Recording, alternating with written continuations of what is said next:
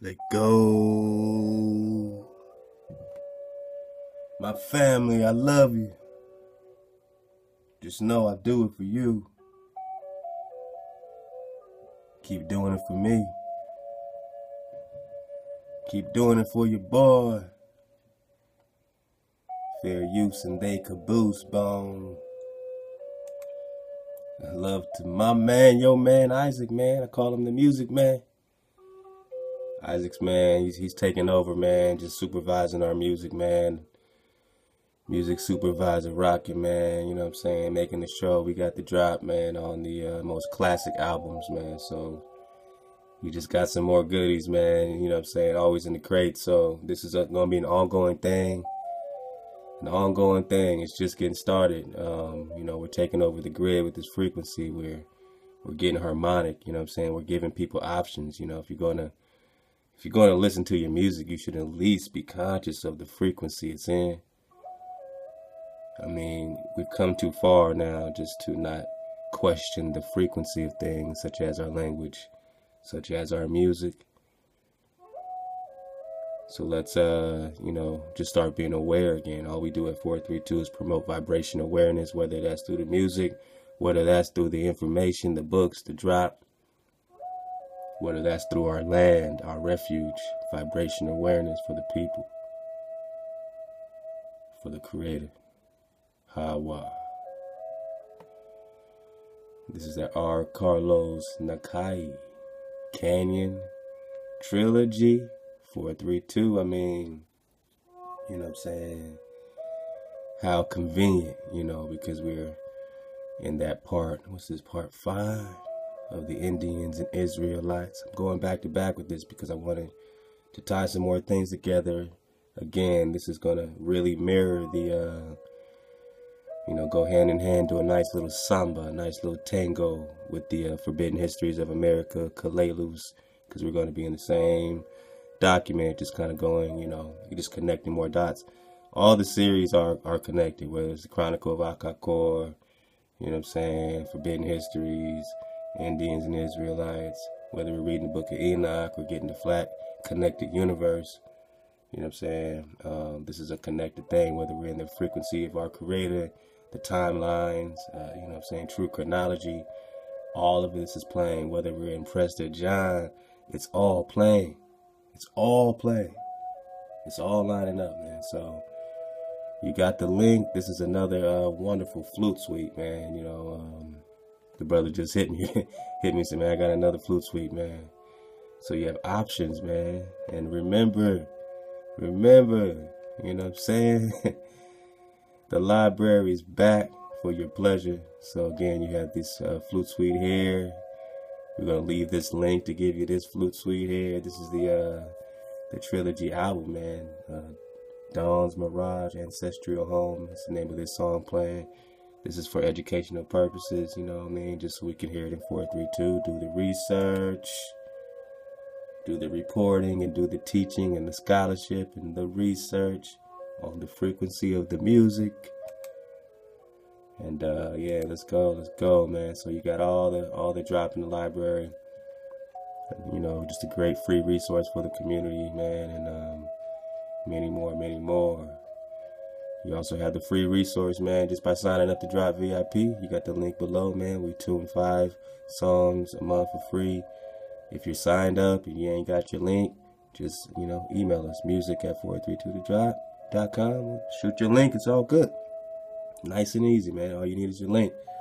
If you uh, are still interested in getting uh, any shirts or whatever while the site is down, you know what I'm saying, you can get the packages, but the shirts, just you know send me a link send me an email music at 432 to drop. We're actually setting up an ebay store so you can do it real quick from the you know ebay location. You ain't got a trip man. You ain't got a trip. And those no hijacks allowed shirts man i'm gonna do a drop showing how i get down with it man. Just wanted to keep doing some beta testing you know washing them make sure it makes sense. You know what i mean? So you know hey i just want to perfect things for y'all but I also got some giveaways coming up, man, just to get them, you know, get that frequency moving, man. So a lot coming up for the family, a lot to be excited about, man. And uh, this is our new year. Happy New Year, my people. Yeah, man. This feels like a new year. I mean, shoot, either people starting this year choosing up or they just getting wiped out. They just getting washed up and washed out.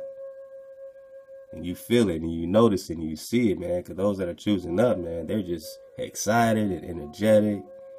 They feel good. They know they're talking about their promised land. They're in redemption mode. They feel they feel redeemed. You know, it's just an energy that you feel. And others are sitting at you, ah, I don't like it. I don't like that you guys are, are reading books. you know what I mean? So, you know, that's just real spill, man. Some people are choosing down in this new year, man. so dodge the hijack, man. Stay above the firmament. What my brother Hiram say, nine above the firmament.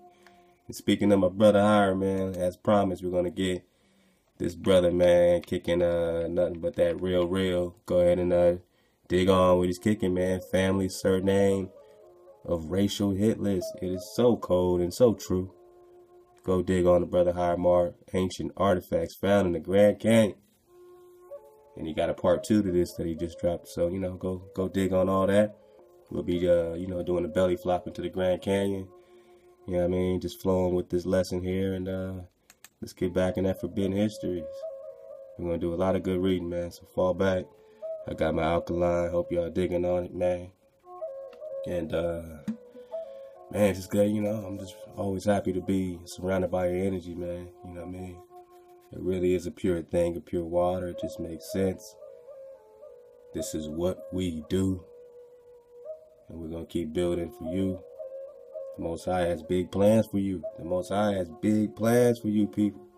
My people. The Most High has big plans for all of us. Don't get, you know, don't get hijacked, man by no negative energy, no chaos. Do what you do, you know, do what you gotta do. Get through it, man. I depend on you to get through it because I depend on your energy. I know you're depending on me to dodge a hijack for sure, for sure, for sure. And that's what it is, man. Let the creator rock. Let the creator reign forever.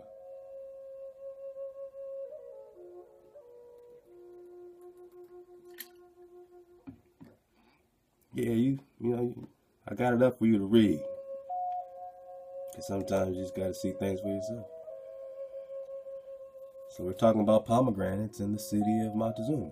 You know, what else is there to talk about but, but pomegranates in the city of Montezuma? What else is there to talk about but a pomegranate or two or three?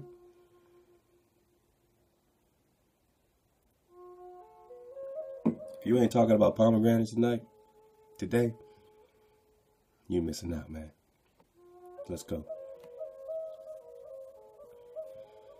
The pomegranate was used as an icon and believed to be the metaphorical fruit in which Eve partook, leading to the mortality of Adam and Eve. Ah, some people say that she partook of the apple, but did she partake of the pomegranate? All right, a metaphorical fruit in which Eve partook, leading to the mortality of Adam and Eve. Some even believe it was the literal fruit. In this, they are mistaken. Moses sent scouts to the promised land for reasons unknown, perhaps his curiosity was just too much, knowing the Israelites would not go there, at least in his time. However, the scouts brought back pomegranate, sources say to demonstrate the fertility of the promised land. I say ridiculous. They brought back Moses' pomegranate as evidence to they brought back Moses' pomegranate as evidence to demonstrate that they had found the place of the Garden of Eden and the promised land. Moses knew the Garden of Eden was in the promised land, and the pomegranate was growing there. Today it is believed pomegranate originated in Iran, Iran. I hardly think you could get a sage brush to grow in Iran. However, in the time of Moses, Iran was a lush tropical zone being situated smack dab in the middle of the equator of BC times, or whatever times that is. Its environment would have been very similar to that of Brazil or Africa's Congo.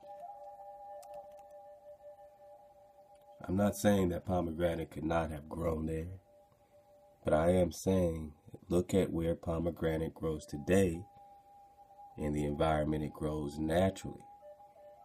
The Garden of Eden was not a tropic tropical zone. However, it was a perfect environment where anything could have grown. The book of Exodus describes Me'il, Me'il, robe of the ephod, worn by the Hebrew high priest as having pomegranates embroidered, embroidered on the hem. According to the book of Kings, the capitals of the two pillars, Jachin, Jachim, and Boaz, that stood in front of Solomon's temple in Jerusalem were engraved with pomegranates. It is said that Solomon designed his coronet based on the pomegranate's crown, calyx. Alright, like I said, we're merging these series right now, man. Doing a nice little samba samba with the Forbidden Histories of America series and uh, this Indians and Israelites. Because we want to look at it from, you know, a couple perspectives with the term, the term, the term Indian. You know, talking about, okay, the indigenous copper colored people of America and the Indian of India and the connection between the Indian of India and the copper colored race here in America, which seems to be the same when we talk about the indigenous drop of the indigenous of India. Nothing today is what it seems, man from land to land, you know, the people there are not the original people. You got to dig to find the original people, and you keep finding yourself, and you keep finding pomegranates. It is said that Solomon designed his coronet based on the pomegranate's crown, calyx. Calyx, all right. Why would the pomegranate be important in the case of the lady medallion? It would seem that in some examples of the use of the pomegranate, it appears at times it was used in the place of the lotus and at times combined. So again, the brother Hiram Art that we're about to get, he's dropping on some lotus drop. He's been, you know, covering that well. And, um, you know, what's the indigenous, you know, truth of this uh, lotus and, you know, what it symbolizes as far as the rebirth and, and whatnot. So, the lotus carries the meaning of purity or wisdom. All right. And the pomegranate, a representation of fertility or being fruitful. On the Lady of Elk or Elche bust. And the medallion we see hanging around her neck is what appears to be on the bottom row of the necklace, the lotus petal but the second row above it appears to be something different, and that is the pomegranate calyx. On the bust rendition seeds are also shown, also show on what would be the petal of the calyx, the crown. Ah, this calyx is getting clearer. All right. So these are the lotus you know. Hanging from lady, the lady's head coming from the area of the ears or from behind the wheel of Dharma like tassels are found the pomegranate bud just before it flowers. So it's the pomegranate bud just before it flowers. In the following image, we get a better idea of comparison. Okay. Alright, pomegranate buds. Okay. Here we go. Tassel representation of pomegranate buds. Alright, you got the link, man. Dig on it. So these are this is an ivory artifact representation of pomegranate buds. Song of Solomon 4 3 Thy lips are like the thread of scarlet, and thy speech is comely, which is beautiful. Thy temples are like a piece of a pomegranate within thy locks, thy locks, thy locks. Are we talking about hair locks? You know, some people say dreadlocks, but you know, locks, man. Locks. Thy locks. Thy lips uh, is very descriptive. Thy lips are like a thread of scarlet, and thy speech is comely. Thy temples are like a piece of pomegranate within thy locks. Song of Solomon 6 7 As a piece of a pomegranate are thy temples within thy locks. Now in my book, The Treasure of Utah. Man, we gotta get this, man. Anybody get a PDF on this Treasure of Utah? This was his previous book, The Treasures of Utah. You already know I got the drop, so let's go. I spoke of the Roman Jewish colonies, or Roma, Romani, Israelite colonies. But we're getting it. I mean, you know, we're getting it. You know, we're just uh, suffering, suffering, connecting these things and the maps that the Spanish use, who likely created the maps, being some of them are 14th and 15th century creations made prior to the coming of the Spaniards. One particular map, Granada Nova, New Pomegranate.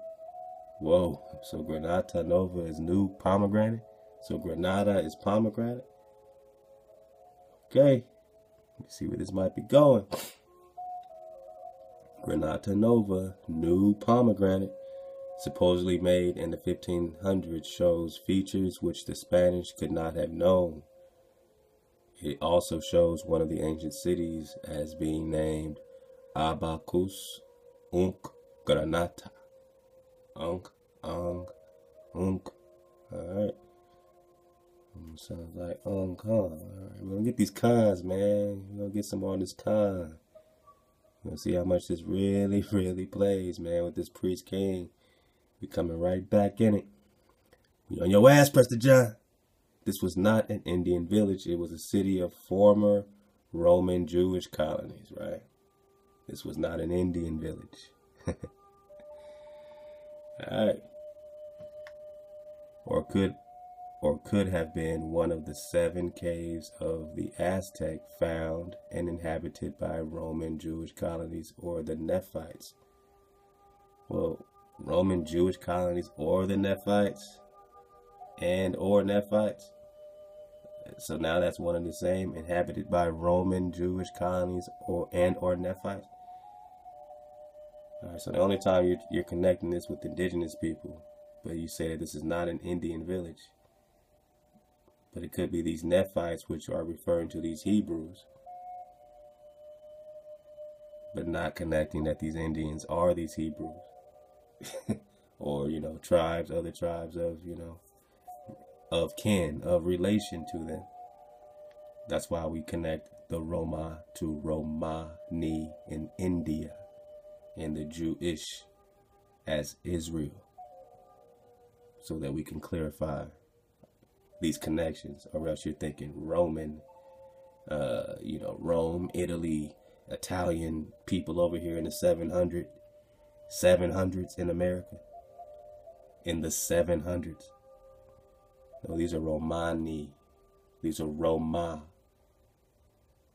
and or Nephites.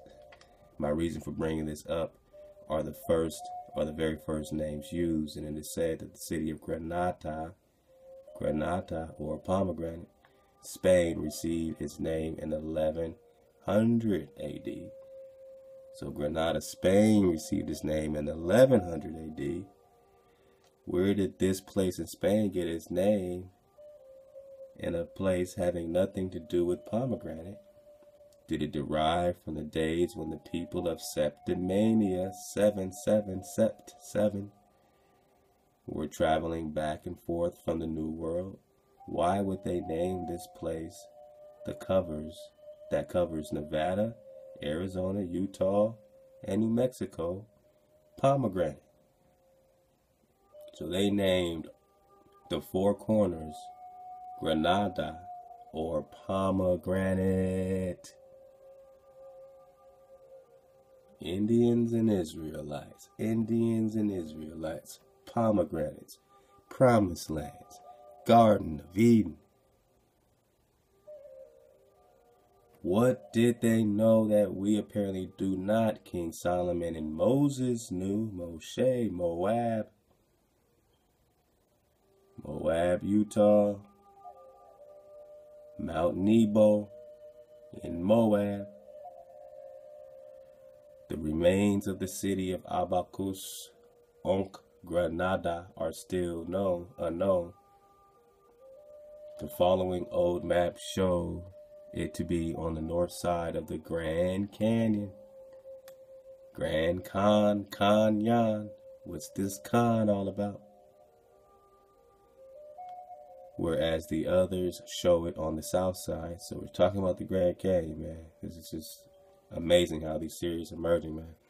So I would lean more towards the north side due to the frequency it appears on the north and because of the following story, which I believe may be the city of Tignus, Latin uh, place of beams or building materials, located on the south side of the canyon.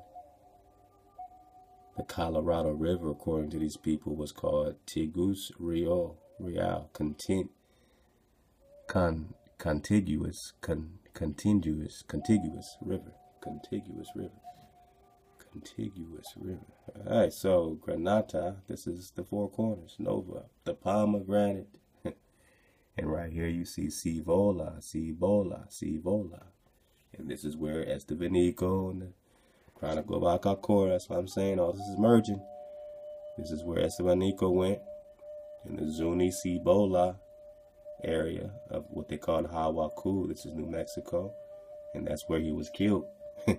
by the indigenous people that were there in this, you know, seven cities ago. This how we cool, this promised land, this promised land that Theodorus, you know, what I'm saying, uh, re reconquered. You know what I mean? In uh, 775 AD, the same promised land that Sylvanus told Texas and, and, and Sylvanus Brabo and Ogden, all of them were already rocking in the same promised land. This is what they were fighting for. And then you have all the water suddenly drying up in about 1000 AD. and then, you know, this exodus basically from there to, you know, into the Yucatan, you know, setting up the, uh, you know, the whole, uh, you know, uh, what's it, Titty, uh, T, uh, T, not Titlan. Yeah, there we go. I said Titicaca. about to Google it, man. It's like, I know this one. All right, so Tenochtitlan. So you got this whole thing, and that's where you're getting this Anasazi situation. And again, Anasazi is means enemies of our ancestors, right? So whoever was these enemies of their ancestors seems to be right there connected at the same point in history with this, uh, you know, Theodorus and and Solomon the Builder, you know what I'm saying, and all them that were already rocking in a place that was being called pomegranate or granada. All right, we're just getting started. Don't mind me. We're just getting started. So let's get some of this. This is out of a book that I'm trying to find, man. Uh, I'll get the name for it at the end of this.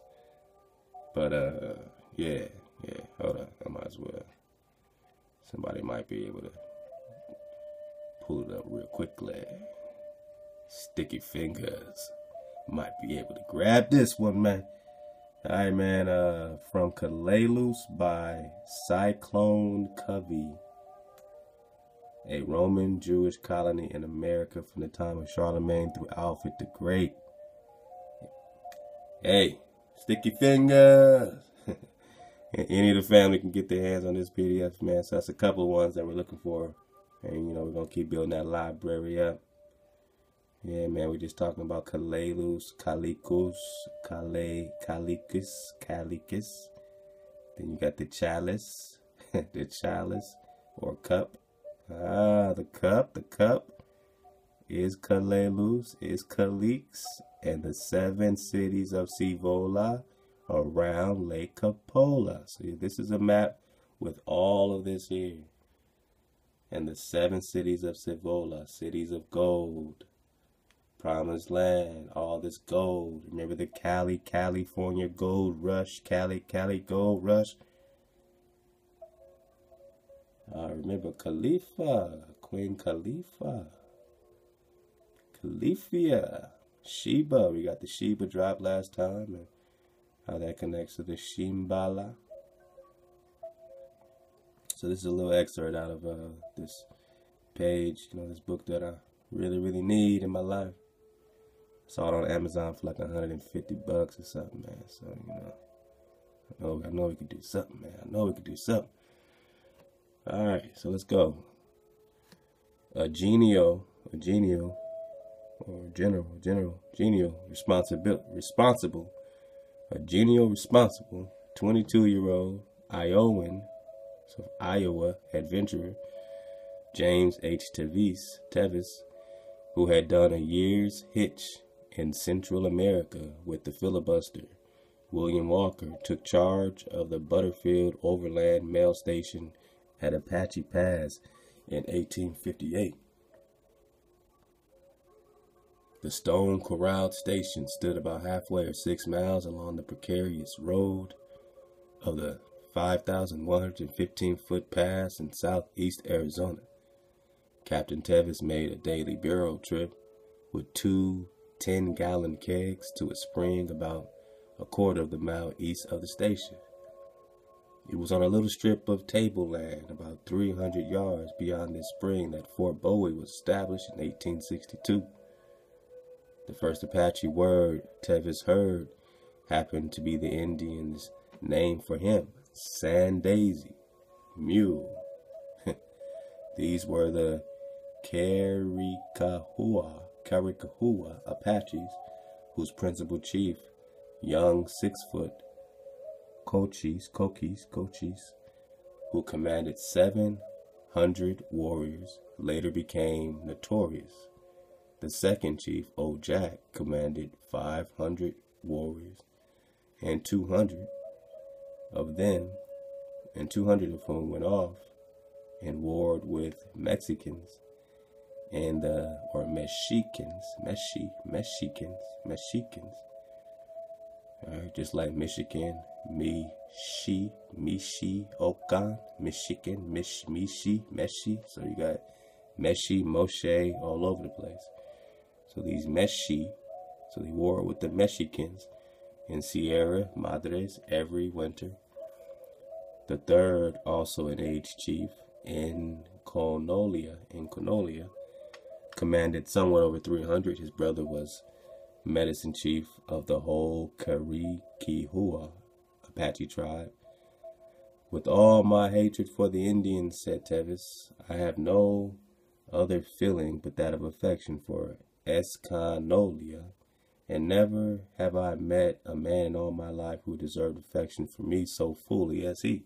All right, so why did this particular, you know I'm saying, you know, uh, uh, native, you know, indigenous. Know, we don't know. I mean, he's from this tribe. I mean, why did he gain this affection of this dude who has such hatred for quote unquote Indians? Old Jack's young warriors wearing red headbands had just returned from Sonora in the spring of 1858 with Tevis one day descried or described them from the top of the of a divide reinforcing a line of about 200 warriors, thus giving a decided advantage against Escanolia's force drawn up opposite. When the battle joined with the whoop, Tevis charged down through the red bands, fearing his six his six shooters ended up ending up amidst Inconolia's men. Incanolia gave him a good Mexican hug, saying, Usha slunk, very good. Tevis had already pleased Escanolia by giving a girl of his tribe two sacks of corn. On the bottle bureau during the severe December of 1857. While the men were away on their new moon foray to Sonora, Escanolia's tribal camp lay but half a mile from the stage station. He undertook that winter to teach Tevis Apache. Now, after the battle on the divide, Tevis acquired a new name, Cheese Goulet, Goulet, Cheese, Cheesy Goulet, White Chief. All right. Cheese is white. All right. All right, so after Jack, in some disgrace from not prevailing on the field, pulled his division of the tribe southeast to Laguna de Guzman in northern Chihuahua. Escanolia rarely left Tevis by day except when on campaign and Sonora determined to verse him in the Apache tradition. Thus Tevis could record. The Apaches say that at one time they were a great war tribe, but that a great army invaded their country with such terrible war implements that their people were killed before their arrows could reach the enemy. Those who did reach close enough for hand to hand fighting could not match the invaders' broad blade hatchets and broke their lances on the invaders' shields.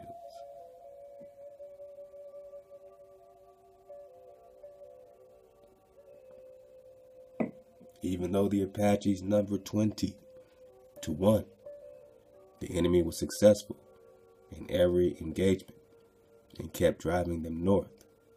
Behind this vast army came a great number of people in charge of priests. They settled along all the watercourses, building forts and, and churches. In the mountains, they also built furnaces and melted the rocks like water. Damn. Finally, the Apaches had to succumb to the tyranny of the invaders. So these invaders were melting the rocks like water? Come on, man. And they were no better than slaves for warriors, squaws, and children worked for them. In Canolia said that about 10 days' journey northwest of the Apache Pass lay an abundantly timbered valley, somewhat like a tableland many miles long and very wide, with a fine stream. Here a large city was founded. Pack trains of hundreds of animals would come and go for every every few days. This went on for years, and the Apaches became more burdened until secretly they began planning their release. At last they attacked and massacred every one of the foreigners caught outside the city, halted their farming, drove their livestock away, and starved the surrounding stronghold into submission in about a year.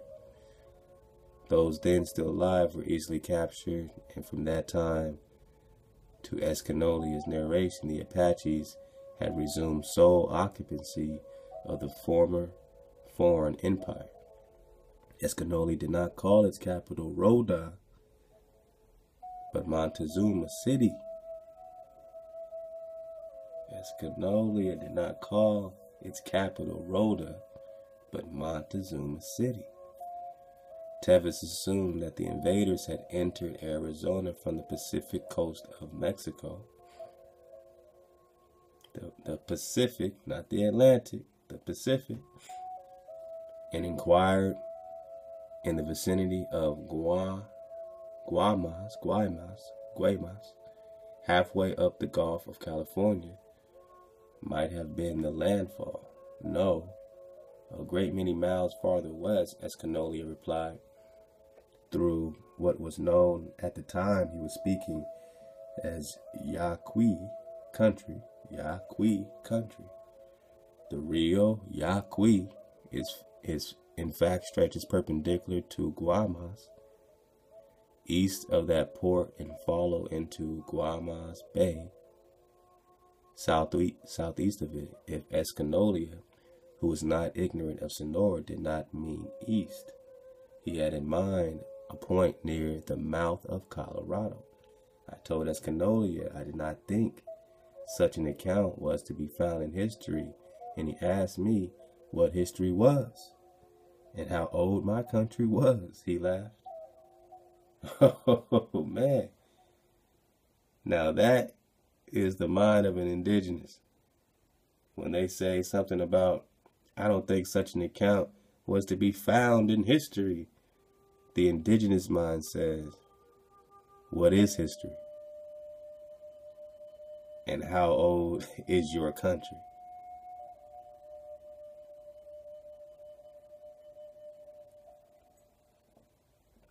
That's what the indigenous says.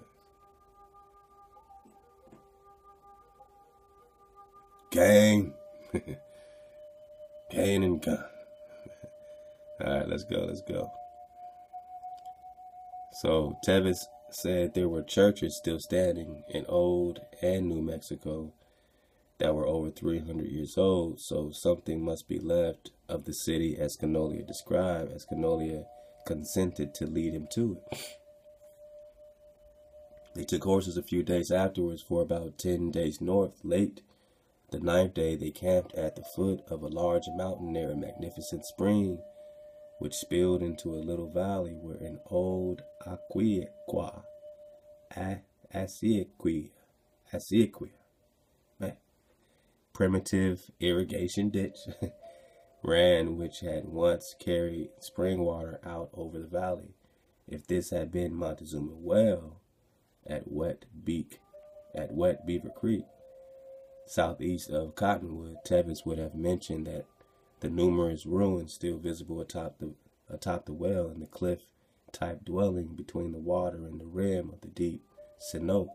Escanolia said at the spring campsite that the mountain ahead was the last they would have to climb. Just over the top lay Montezuma City. It was very hard the first three hours of the early morning, Tevis said, but through a thick growth of pines, they ascended to an old trail that rose more gradually. They reached the summit about 2 p.m., overlooking a wooded tableland valley. Tableland Valley. Is that like, like a flat, flat as a table? And if they reach the summit, are we just talking about a cut off tree? And if we're just talking cut off tree, are we talking something like, uh, uh, let's see, Montezuma Castle, like Montezuma Castle. We're just talking tree stumps, man.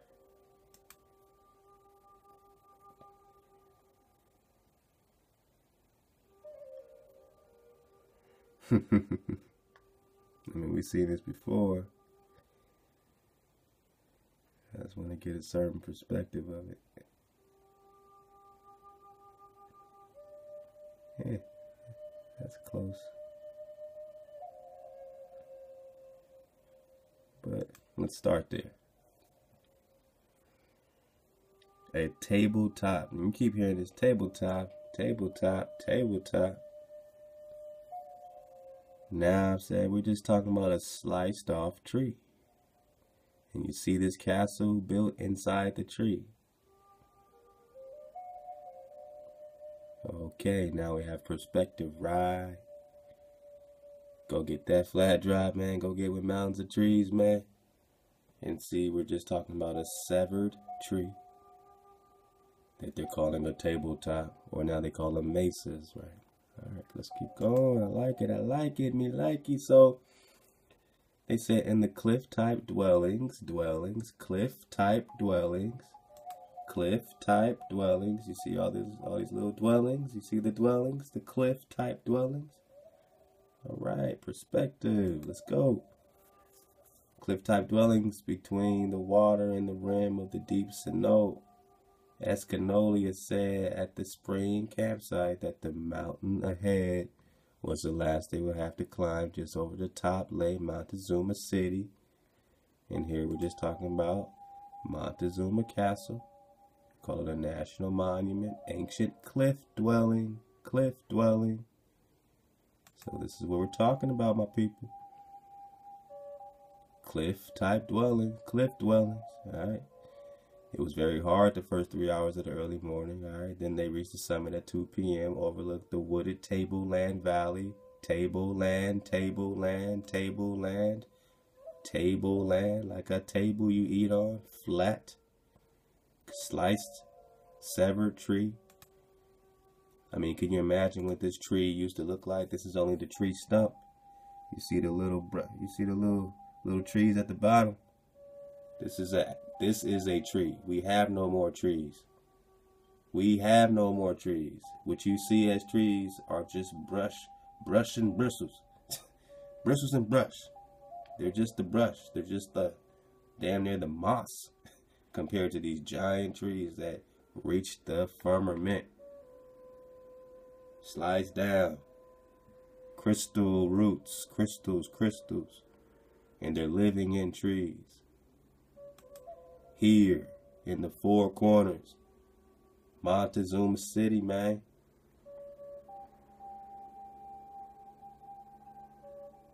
Looking a wooded tableland valley with the fair stream running through it, just as Escanolia had described, and there, just a short distance into the valley, lay Montezuma City. After we had ridden about a mile, we began to pass a great number of mounds of various sizes mounds, pyramids, mounds, pyramids, which lasted until we reached the stream where we camped. Large herds of elk and deer could be seen on either side, and wild turkeys everywhere. The stream was filled with mountain trout. Here we spent two days riding over the valley, examining the mounds, pyramids, mounds. Whenever they find pyramids here, they call them mounds. So that's a lot of times keywords for some form of, you know, pyramid action. You know, once in a while it's just some more like a small dirt mound type of thing. But, you know, don't just think a dirt mound. Their mounds many times are pyramids, which extended for miles on both sides of the stream. The courses of the Aquiquias, Quias, were quite discernible.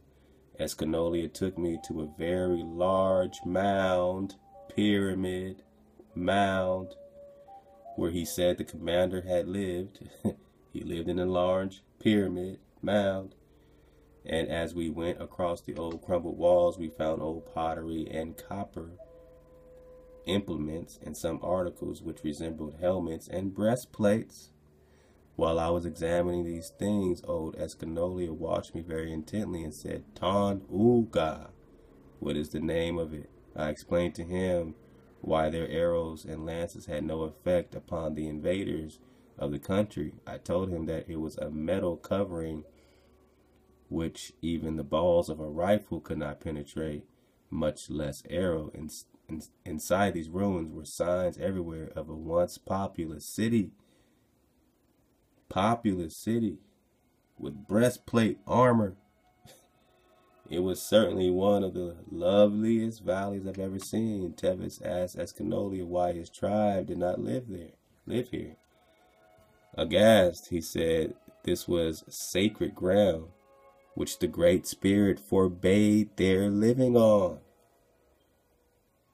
So whatever tribe he's coming with, you know what I'm saying, whatever the name for it was, the Most High, the Great Spirit, forbade his tribe to live on this particular ground that Montezuma City is in.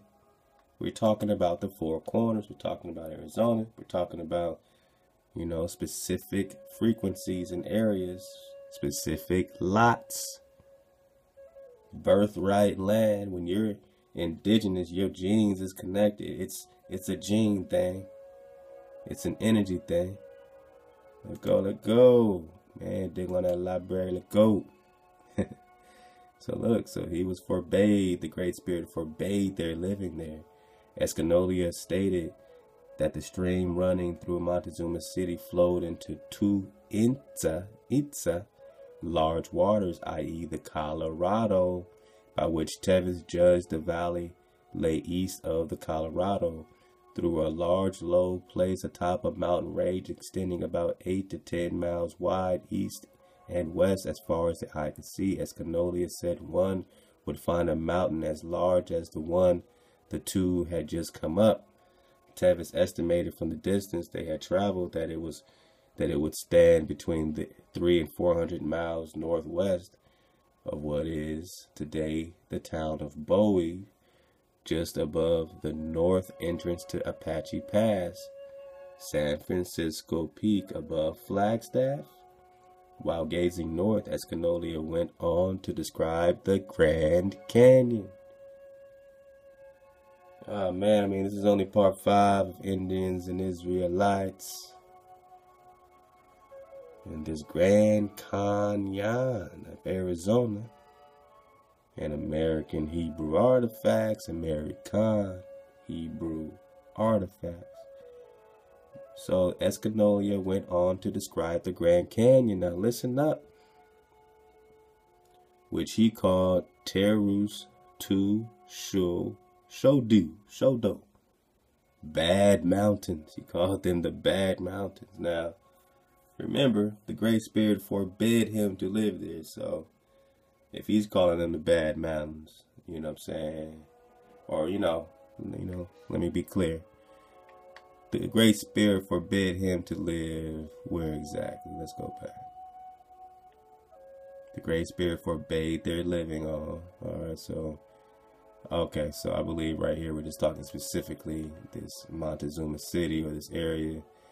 And I think he's talking about the Grand Canyon separately, calling the Grand Canyon bad mountains, but you know, still is coming from a tribe of people who were forbade by the Creator to live there. So, you know, it could be straight up hijack. You know what I'm saying? That's what I'm trying to say. But the walls per perpendicular on either side of the river which had cut its way through the bad mountains.